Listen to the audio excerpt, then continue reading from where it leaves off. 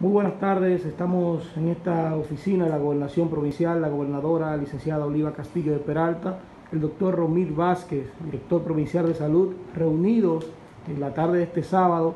Este, tienen una información para el pueblo de San José de Ocoa, ¿de qué se trata?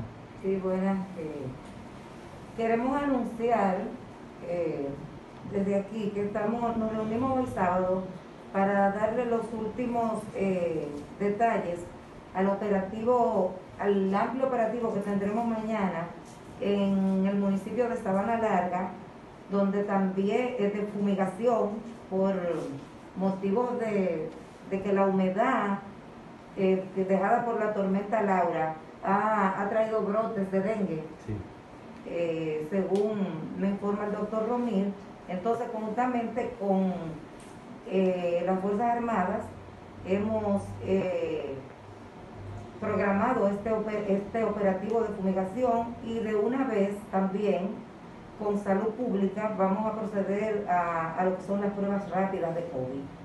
El doctor eh, le puede dar una explicación más eh, amplia con relación a lo que se veían las pruebas y, el operativo de fumigación sí. Bien.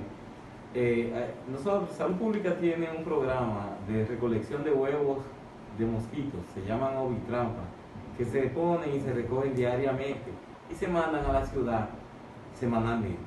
Eh, en, ese sentido hemos detectado, detectado huevos y la proliferación de mosquitos tras las lluvias causadas por la tormenta de Laura. En, en ese sentido, para evitar la propagación de dengue en la provincia, escogimos precisamente el municipio de Sabana Larga para en el día de mañana hacer un operativo de fumigación y a la vez tomar una gran cantidad de pruebas rápidas para COVID. De la misma manera, le damos gracias a la población por el recogimiento y por la moderación que han tomado en los últimos días eh, a partir del toque de queda. Eh, debemos decirle que las autoridades van a ser un poco más drásticos de lo que han sido actualmente. Y de la misma manera debemos darle las gracias a la gobernación, a la policía, a la población en general por, eh, por la forma en que se ha comportado. Eh, debemos decirles, reiterarles de esta manera que las, la, la cura la tienen ustedes. Sí, que las medidas que, que se están tomando eh, no la vean como una medida drástica. Eh, señores, el COVID es real y nosotros merecemos que, que la curva plane aquí en nuestra provincia. Lo único que le estamos pidiendo es su colaboración. Quédate en casa.